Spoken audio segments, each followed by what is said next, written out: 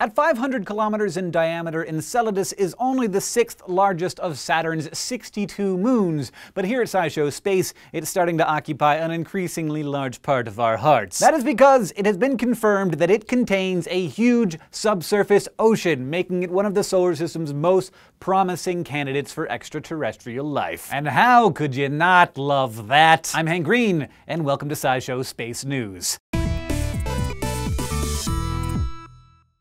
Last week, in the journal Science, astronomers from NASA and Caltech published evidence that little Enceladus has a giant underground, or rather under ice, ocean. This new evidence reinforces what astronomers have been theorizing since 2005 when NASA's Cassini spacecraft first observed giant geyser-like plumes of water erupting near Enceladus' south pole. They thought pressure changes due to the moon's irregular orbit might be forcing water from an underground ocean up through cracks in its icy surface. But they weren't sure because there was no evidence for a source of heat that would keep the ocean liquid, and there could have been other explanations for those plumes. Since then, Cassini has flown by Enceladus 19 times and three flybys sent particularly clear radio signals back to Earth. These signals indicated something confusing about Enceladus' gravity. A region near the south pole of the moon turned out to have a stronger gravitational field than it should have. Such abnormalities can usually be explained by large masses like mountains or by differences in crust composition, but this region actually has a giant depression in it,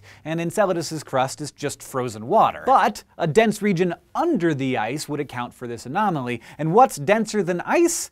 Liquid water, 7% denser than ice to be exact. So scientists think this change in gravitation is caused by a hidden ocean, with about the same volume as Lake Superior. According to some complicated math, they estimate that the ocean is about 10 kilometers deep, sitting beneath an ice shell that's about 30 to 40 kilometers thick. This would also explain the depression around Enceladus' south pole. If the ice crust melted into water, it would reduce its volume, making a dent. So all the evidence points to an underground ocean, and therefore, the possibility of habitability. Because not only is there liquid water, which life is really into, but there's rock underneath it, in Enceladus's core. Liquid water interacting with a rocky bed means chemical reactions that could produce nutrients. All it's missing is an energy source. And if Enceladus is tectonically active, as last week's findings also suggest, with a core, mantle, and crust of rock, water, and ice all moving around creating friction with one another, that could be an energy source right there. Extremophiles here on Earth, like Archaea, use reactions driven by geothermal energy to get by very nicely, thank you. So as a candidate for life, Enceladus is looking pretty promising, competing with the likes of another of our favorites, Europa, a moon of Jupiter, which astronomers also predict has a liquid subsurface ocean,